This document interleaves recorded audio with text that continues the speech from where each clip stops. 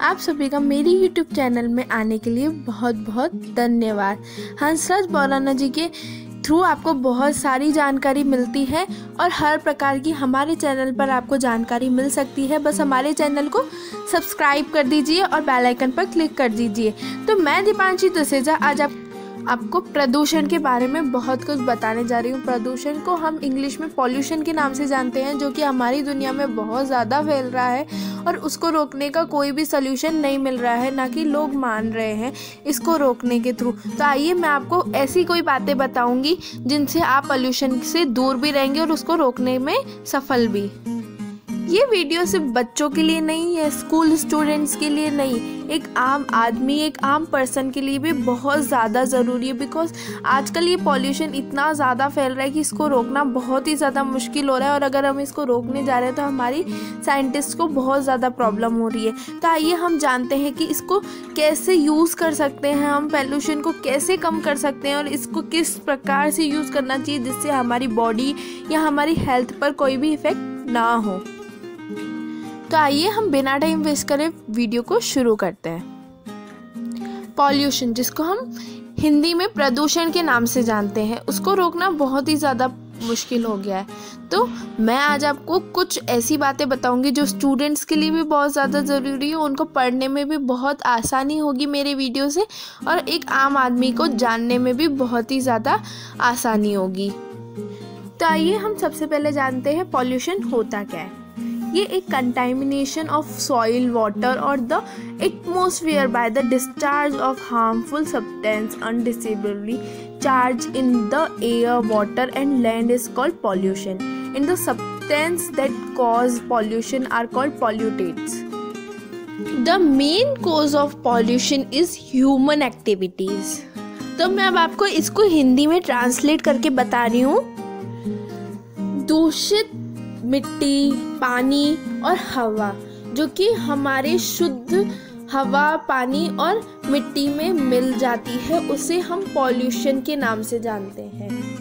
जो सब्सटेंस जो भी चीज़ एक पॉल्यूशन के थ्रू हमारी चीज़ों में मिलती है, उसे हम पॉल्यूटेंट्स कहते हैं और इसका मेन कोज होता है ह्यूमन की एक्टिविटीज़ पर असर करता है। क्योंकि पॉल्यूशन के अंदर से बहुत ही गंदी सी स्मेल भी आती है, धुआँ आता है, जो कि हमारी बॉडी के लिए बहुत ही ज़्यादा हार्मफुल रहता है।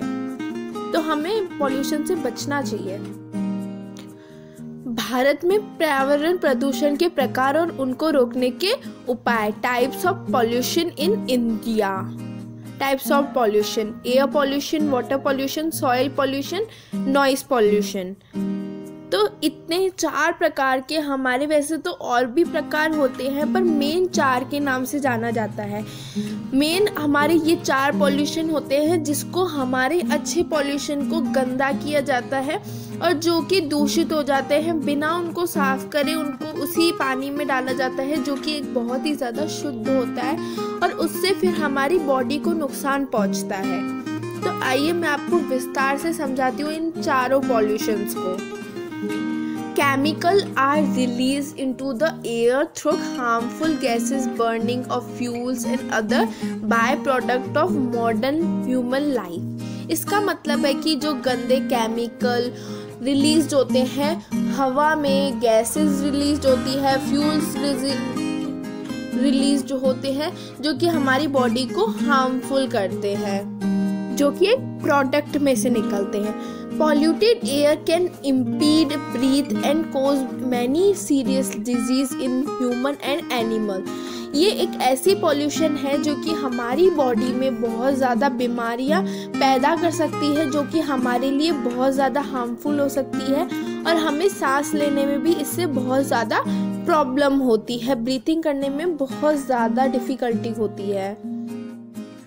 Toxins from human and industry waste are introduced into our water supplies इसका मतलब ये है कि जो बहुत गंदी इंडस्ट्रीज़ से मतलब फैक्ट्रीज से जो भी गंदी पॉल्यूशन धुआँ, कचरा निकलता है, वो हमारे पीने के या नहाने के पानी में डाल दिया जाता है। जैसे कि गंगा नदी।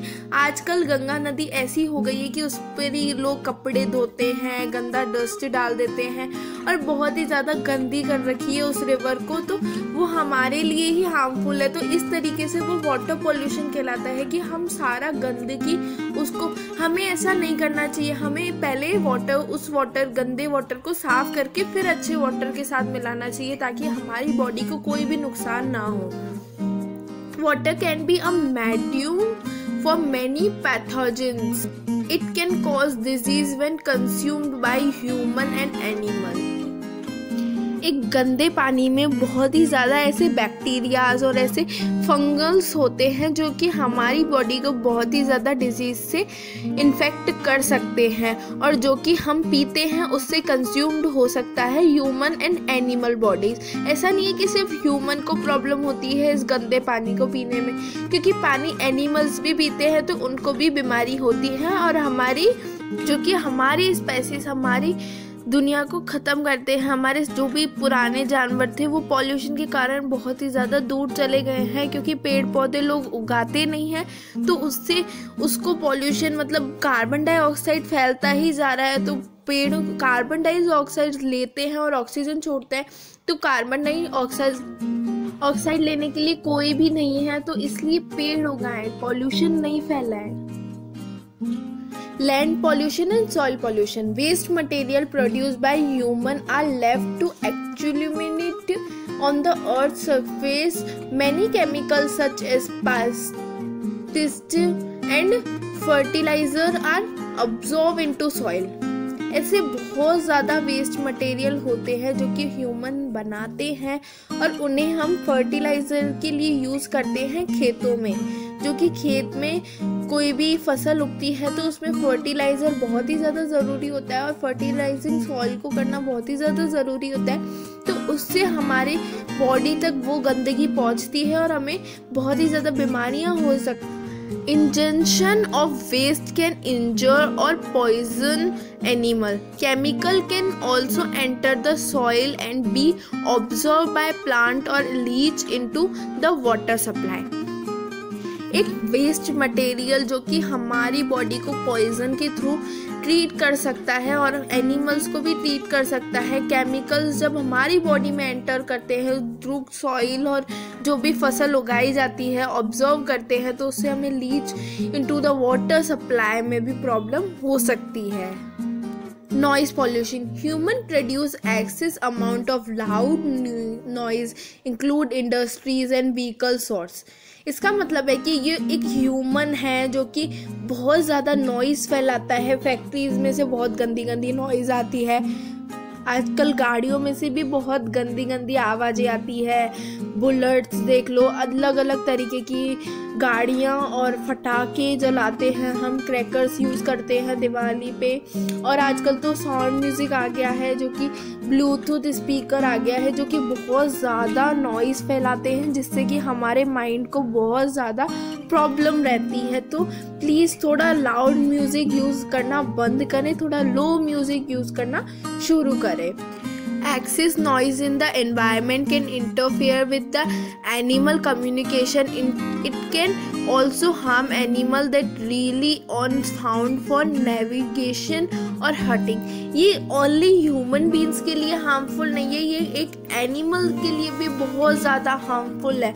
तो प्लीज़ इसे नॉइज़ थोड़ा कम फैलाए नॉइज़ चाहे व्हीकल में हो, चाहे इंडस्ट्रीज़ में हो, चाहे अपने घर में कोई भी ब्लूटूथ कनेक्शन चलाना थोड़ा लो चला है। मैं ऐसे नहीं कह रही हूँ कि बंद कर दीजिए तो आपको मेरी वीडियो से बहुत ज़्यादा जानकारी मिली है। ऐसे नहीं कि अभी पॉल्यूशन के बारे में मैं आप बताना बंद कर दूँगी।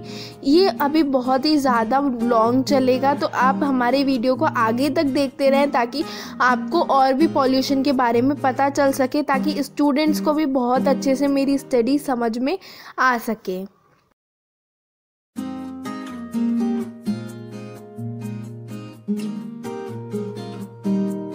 क्योंकि वीडियो बहुत ही ज़्यादा लॉन्ग हो चुकी है तो it will be next day मैं आपको बहुत ज़्यादा जानकारी दूँगी पॉल्यूशन के बारे में।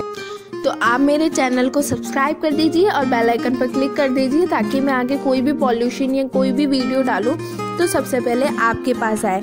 और पॉल्यूशन फैलाना बंद करें, जितना हो सके पॉल्यूशन को शुद्ध करें मतलब अपने पर्यावरण को शुद्ध करने की कोशिश करें।